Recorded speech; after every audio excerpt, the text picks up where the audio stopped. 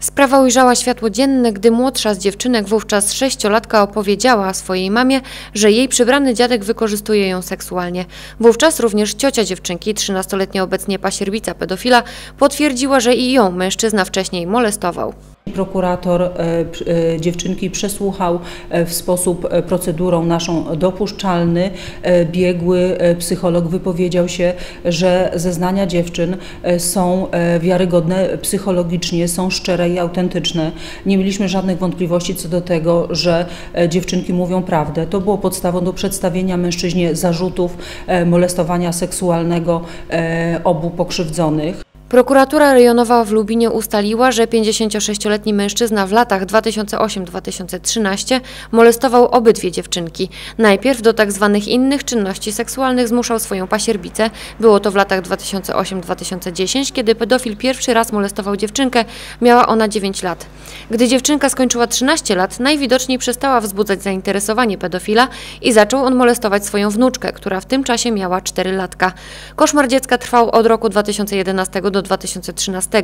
56-letni Lubinianin został zatrzymany i tymczasowo aresztowany na 3 miesiące.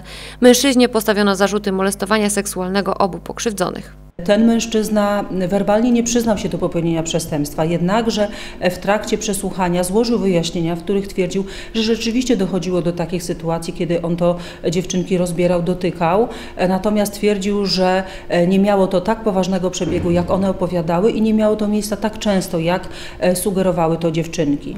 Biegły psychiatra stwierdził, że mężczyzna jest poczytalny i zdawał sobie sprawę ze swoich czynów i ich konsekwencji. Seksuolog natomiast stwierdził u mężczyzny symptomy pedofilii heteroseksualnej. Za czyny, które się dopuścił, grozi od 2 do 12 lat pozbawienia wolności. Kino Muza w Lubinie zaprasza najmłodszych widzów na seans filmowy w ramach cyklu Mamo, tato, zabierzcie mnie na poranek. W niedzielę 27 kwietnia o godzinie 12 polecamy film animowany Rodzinka nie z tej ziemi. Bilety 8 zł ulgowy, 10 zł normalny. Internetowa rezerwacja biletów na www.cekmuza.eu. Zamierzacie Państwo dać chwilkę wytchnienia swoim pracownikom? Regionalne Centrum Sportowe w Lubinie zorganizuje dla Was imprezę firmową dla pracowników oraz ich rodzin. Skoczna muzyka, smaczne jedzenie, gry i zabawy dla dzieci i dorosłych oraz miła obsługa i to wszystko w rozsądnej cenie. Organizujemy festyny na naszych lub wskazanych przez Państwa obiektach.